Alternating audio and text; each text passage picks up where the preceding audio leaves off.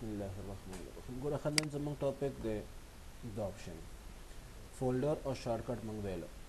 ګوره خد دا څه کار کوي مایکروسافټ اکسس ډیټابیس اوس که ته غواړې چې چېرته د اکسس ډیټابیس فایل راولې د دې کمانډ په ترو باندې راوستې شي یو موږ سره شارټکټ یو موږ سره فایل دی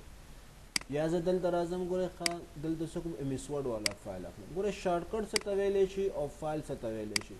که موږ دلته کلیک کو نیو او نیو کې زه شارټکټ والم او دې ځای کې ورکړم چې سی ډبل ډاټ سلیش وینډوز وبخښئ سلیش پروګرام فایلز او بیا دلته راشي سلیش مایکروسافټ آفیس او بیا سلیش آفیس ففټین ګورې دا ما سره تیرا ورژن دی د ففټین مې واغوستو او وین وور اوس که یو کس تانه تپوس وکړي چې دا ایم ایس ورډ فایل خو شارټکټ خو ته داسې هم راوستی شي دې ته هم شارټکټ ویلی شي ورته نه دا شارټکټ نه دی دا چې کوم دی دا فایل دی فایل او دا شارټکټ دی ګورې خلک دواړو په منځ کې فرق ته ګورئ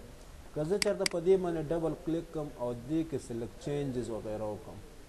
دلته راځم ګوره دا کولاوم او په دې کې څه کوم لږ ایډیټینګ وغیره کوم دې شکل کې په دې کې لږ لیکل میکل وکړو دا پکې لیکل شو او دا لیکل مې دې ځای نه څوک دا فایل چې کوم دی دا مې کلوز کړو یس مې کړو ګورې ښه چې دا کوم چینجز ما وکړو دا په همدې فایل کې سیو شو اوس که زه چېرته غواړم چې یو بل فایل جوړ کړم د دې کمانډ په ترو باندې زه بل فایل نشم جوړولی خیال هم دی همکه لیکل دې فایل کې دي پهله به زه دا لیکل ختموم بیا به بل فایل جوړوم او دا څه کار کوي دا به تاسو ته همیشه یو بلینک ډاکومنټ درکړي کلیک کې په دې باندې درته ماته یو بلینک فایل راکړه ګوره دا دې فایل کې مې دا لیکل وکړو او دا لیکل مې ځان سره دلته سیو هم کړو سیو کړ کوم ځای کې په ډیسکټاپ باندې دې نوم شو سیو مې کړو به راځم ګوره یو بل فایل جوړوم به په ډبل کلیک کوم ګوره به خالی دی پوهېږئ په دې معنی دا د شارټ کټ او د فایل په منځ کې فرق دی دا چې کوم دي دا ټول فایلونه دي د کوم پروګرام فایل راولي که پروګرام ولا سلیکټ کړو د اکسس راولي هم دا سره شه بیټ میپ فایل راولي د ایم اس پینټ فایل راولي په دې کلیک دا د ایم اس پینټ فایل دی رائټ کلیک کړئ او دې ځنه ایډیټ کړئ اوس که په دې کې تاسو لیکل میکل کې څه پکې شکل میکل پکې جوړې دي ځنه جوړولې شي راشه کلوز کړئ سیف کړئ همداسې راشه بیا رایټ کلیک کړه نیو ګوره بل پکې څه دي کانټیکټ اوس کانټیکټ ویلې څه ته شي که ته چېرته د خپلو ملګرو یو لیست جوړې لکه ګورې ښه بعضې کسان داسې چې هغې سره ډایري پرته وي او په هغه ډایري کې د خپل ملګرو نمبرې وغیره چې کوم دی یا ایډرس وغیره چې کوم دی هغه ټول لیکي نو په کانټیکټ کې تاسو دا کار کولی شئ کلیک کړه په کانټیکټ باندې څه پکې لیکل غواړې ګوره نیم اینډ ایمیل زه دلته غواړم چې د یو ملګري په باره کې معلومات ولیکم هغه ملګری څه نومیږي دلته راشه د هغه میډل نیم څو دی ولی خان دی یا ولی علی او دلته راشه لاست نیم څه شو ولی علی خان شو پوهیږئ په دې معنی دی مکمل نیم شو پرسنل ټایټل د څه دی مطلب دا چې ستا دا کوم مرګره دی دا څه کار دی زه ورته چې دا ډاکټر دی همدا سره شن نیک نیم دی څه دی نیک نیم دی ته ویل شي خاندانی نمونه چې کوم دا بعضې کسان خلیل په ځان باندې ږدي بعضې کسان معراج په ځان باندې ږدي دا بعضې کسان بلور په نوم ځان باندې ږدي دا خاندانی نمونه چې کوم دی نو زه ورته دا مونږ سره څوک دی خلیل دی همدا سره شي هم د دې کور ګور ایمیل اډرس د دې ایمیل او خایا ماته ګوره دلته د دې یو ایمیل دا دی ولی انډرسکور خان او بیا دلته راشي اټ د ریټ یاهو ډاټ کام یو ایمیل دا شو دویم ایمیل دا دی چې ولی انډرسکور خان اټ د ریټ اف جیمیل ډاټ کام او چې څومره ایمیل ته دلته ورکړه که ایمیل نه خالیم پرې خو دی شي د فیسبوک ایډي نه خو نن سبا دی یو کس ته غزل ته ورکې به امدا سره شه هم دا کم ځای کې پاتې کیږي دا ستا ملګری کور کم ځای کې دی زه ورته هم د دې کور چې کم دی دا په فیس 3 کې دی امدا سره شه ګور دا فیس 3 په کم سټي کې راځي دا په پېښور کې راځي او دا کم سټیټ کې راځي دا پېښور چې کوم دی کې پی کې کې راځي او د پېښور خپل کوډ چې کوم دی هغه 25000 دی دی کور دی او دا کې پی کې په کوم ځای کې راځي دا په کوم ملک کې راځي دا په پاکستان کې راځي همداسې د ملګری فون نمبر د فیکس نمبر د سن نمبر ویږي په دې معنی دا په کوم ځای کې کار کوي دا کار ځای ولته ولیکي دا کار کوي فیس فور کې او فیس فور په کوم ځای کې راځي پېښور کې همداسې راشي دا ټول په خپل به فل کولای شي دا خو اسانه دي کنه قدې نه بعد وګوره دې په فیملی په باره کې تاسو معلومات اخلئ دا ملګری چې کوم ستا دی دا میل دی که فیمیل دی دا هم له تاسو دلته اخیستی شئ دا په کوم تاریخ باندې پیدا شوی دغه تاریخ دلته ورکوي زه به دلته راشم ورته دا په کوم تاریخ باندې پیدا دی دا چې کوم دی دلته راشئ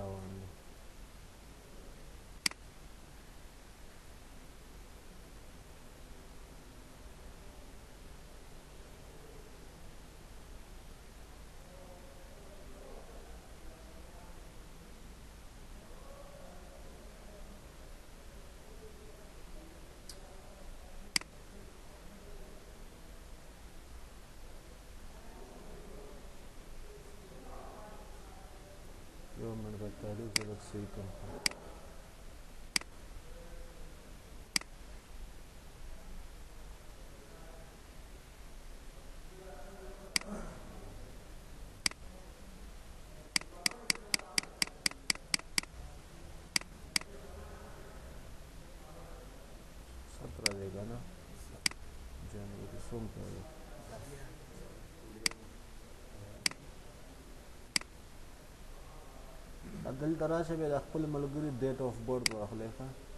د دې د ډیټ اف برت چې کوم دی دا 915 او کوم کال دی 1985 دی بس همداسې راشي ګوره د واده شته او که نه بلکل واده هم شته واده په کوم کال کې شوی دی د واده چې کوم دی دا شوی دی ورته ووایه چې 2014 کې واده شوی خدای نه بعد وګورئ خد د پارټنر څه نوم دی د وایف یې څه نوم دی ورته د وایف نوم یې چې کوم دی هسې مطلب ځان له یو نوم ورکړئ دا یې د وایف نوم شو ښه بیا د ده ماشومانان شته او که نه بلکل ماشومانان هم شته د یو ماشوم نوم یې علي دی او د بل ماشوم نوم یې خان دی بس دا دوه ماشومانان دي دې نه بعد نوټس دې په نوټس باندې کلیک کړئ اوس ته یې خپل ملګري په باره کې نوټس لیکي د هغه پوزیټیو پوینټس د هغه نیګیټیو پوینټس ایا دا ستا ملګری چې کوم دی نسوار کوي سګرټ وغیره کوي ګوره دې شکل کې ته د هغې په باره کې څه کوې د هغه پوزیټیو چې کوم پوینټس دي او د هغه چې کوم نیګیټیو پوینټس دي هغه ټول ځان ته دلته مینشن کړې آیډیز نه مطلب دا دی چې دلته تا کومې آیډیا نه ورکړې دا دوه دانې دا به تا سره دلته شو کېږي دا وګورئ اک آیډیا نه دي اوکه که دا ستاسو د یو مرګري لیست جوړ شو دین بعد به تاسو دې شکل کې یو فولډر جوړ کړئ د فرند په نوم باندې او بیا دلته راشئ همدغه لیست دې ځای کې ځان سره سټور کوئ بیا که بل مرګري د پاره جوړوي دلته کلیک کوئ او بل مرګري د پاره جوړوي پوهېږئ په دې باندې دې نه بعد وګورئ بل پکې څه دی مایکروسافټ ورډ ډاکومنټ مایکروسافټ ورډ ډاکومنټ نه مطلب دا دی که ته چېرته د مایکروسافټ ورډ فایل راوستل غواړې نو دې کمانډ په ترو معنی ته راوستی شی کلیک که په دې معنی دا وګوره دا موږ سره د مایکروسافټ ورډ چې کوم فایل دا به راشي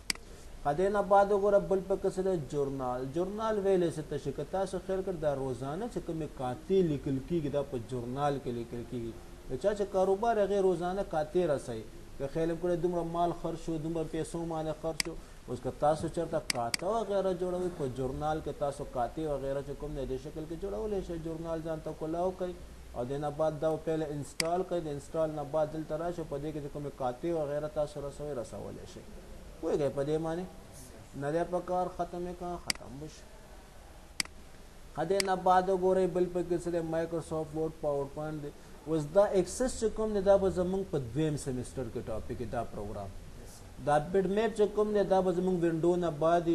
دلته ایم ایس ورډ چې کوم دی دا به هم د وینډو نه بعد پاور پوینټ چې کوم دی دا به د ایم ایس ورډ اکسل نه بعد موږ شروع کوو پاور پوینټ په دې کلیک یې ګوره هم دې سیمسټر کې موږ پاور پوینټ هم پاور پوینټ ورسره لپاره استعمالیږي سلایډونو لپاره استعمالیږي اوس که ته چرته څه کې یو پریزنټیشن تیارې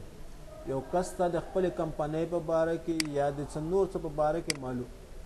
بات ورکوي دغه لپاره مونږ کوم سافټویر استعمالو پاور پوینټ پریزنټیشن وغیرہ د پاره استعمالیږي بریفینګ د پاره مونږ پاور پوینټ څخه استعمالو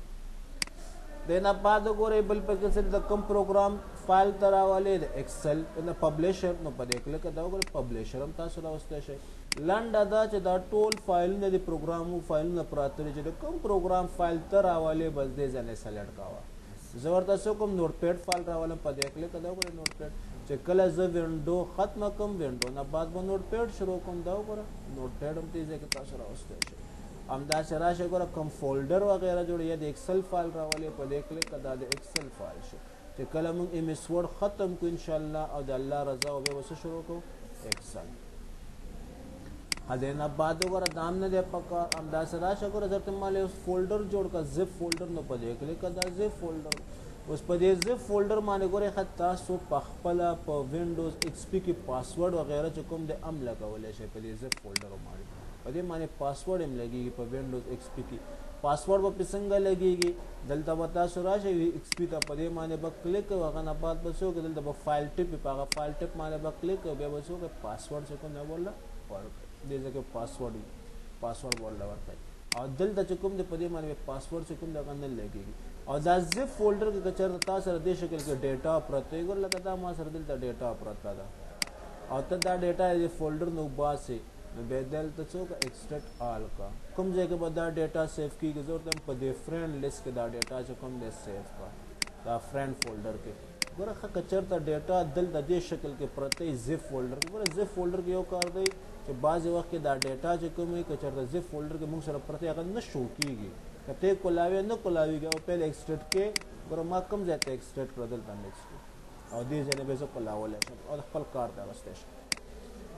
که دې نه بعد وګورئ بل پکې څه دی بریف کیس دی بریف کیس مطلب دا دی که ته چېرته ځان ته دې شکل کې دا ګوره یو فولډر یو بریف کیس وي په دې کلیک که دلته وګوره فولډر په شان دی دا هم کار کوي تاسو پکې خپله ډیټا وغیره چې کوم دی سټور کولی شئ دې شکل کې راځئ خپله ډیټا څه کوئ دلته سټور کوئ دې ته څه ویلی شي بریف کیس قدینا بعد وګورئ بل پکې سره نیو زموږ ختم شو نیو نه بعد سکرین ریزولوشن دی او سکرین ریزولوشن نه مطلب دا دی که ته چېرته د خپل سکرین سایز چې کوم دی هغه اضافه کې یا کمې د دې کمانډ په ترو باندې تاسو اضافه کولی شئ یا کمولی شئ کلیک کوئ په دې باندې اوس دلته پیل وکړئ چې کله زه په سکرین ریزولوشن باندې کلیک کوم ما سره دا آپشن راشي په دې کې دی ډسپلی ډسپلی نه مطلب دا دی ته د کوم کې د ډیسپلی د کوم مانیټر سکرین کې چینجز راولم زه ته هم د دې مانیټر کې چینجز راولم کوم دا یو مانیټر دم دې کې چینجز راولم که څومره سکرین سایز تا په کار دی دومره اپلای کړه وګوره دومره به راځي کیپ ګوره که زه کیپ باندې کلیک کوم دا چینجز اپلای کېږي که ریبورډ کوم دا چینجز ختمېږي ورته کیپ کا دا وګورئ سکرین چې کوم دی غټ شو اوس که ته چې نه دا سکرین ماله کم په کار دی دلته راشه دا کم کا اپلای کا ګوره دا سکرین به موږ سره کم شي دې شکل کې کیپ کا کیپ به شي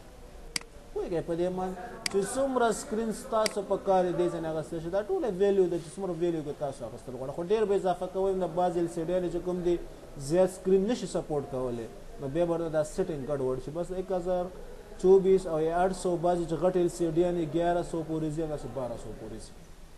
که دې نه بعد وګورې اورینټیشن دی اورینټیشن نه مطلب دا چې دا سکرین ته کوم ډیزاین کې کتل غواړي که زه دې ځای کې پروټریټ کوم نو تاسو وګورئ دا سکرین ما سره دې ډیزاین کې شو کېږي اوس اپلای کې کیپ کا که ختمې ریورډ که زه ورته ختمو مې ریورډ شو یا دې ډیزاین کې مې دا سکرین خوښ نه شو دې ډیزاین کې مې سکرین خوښ دی اپلای که دا وګورئ دې ډیزاین کې به راځي پوهېږئ په دې معنی سټارټ بټن چېرته لاړه بره لاړه نه یې اپلای کې ریورډ که ته دا ډیزاین مې خوښ نشو یا دا ډیزاین نه دلته راشه دا ډیزاین ورلواله اپلای کې دا وګوره دا ډیزاین به راځي که دا ډیزاین هم نه خوښیږي دا هم ختم که ګوره زه ته ریورډ که دا ډیزاین هم نه دی خوښ پوهېږئ په دې معنی یا دلته وګوره خپل پکې څه دی یو ډیټیک دی یو ایډنټیفای دی ډیټیک مطلب څه دی که زه دا ډیزاین والم او زما اوریجنل ډیزاین کوم یو دی دا دی کنه لینډسکیپ ګره ما دا وزر تم نه واپس خپل اوریجنل ډیزاین ته ځان چینج کړ دی ټیک کړه ګره واپس مو اوریجنل ډیزاین ته بوزي او ایڈنټیفای مطلب سره چې دا کم ډیزاین ما واوس بس هم دا پرې ده دا ګره پاتې شو پوهیږئ په دې باندې نو ډیټیکټ نه مطلب دا دی چې واپس وکړه خپل اوریجنل سیټینګ ته لاړ شه اوکې کا په دې کې چې دا کوم باقي اپشن دی ان شاء الله دا بل به سبا دی خیر ویم ښه بس ورشه کلاس ته مورشه به وایي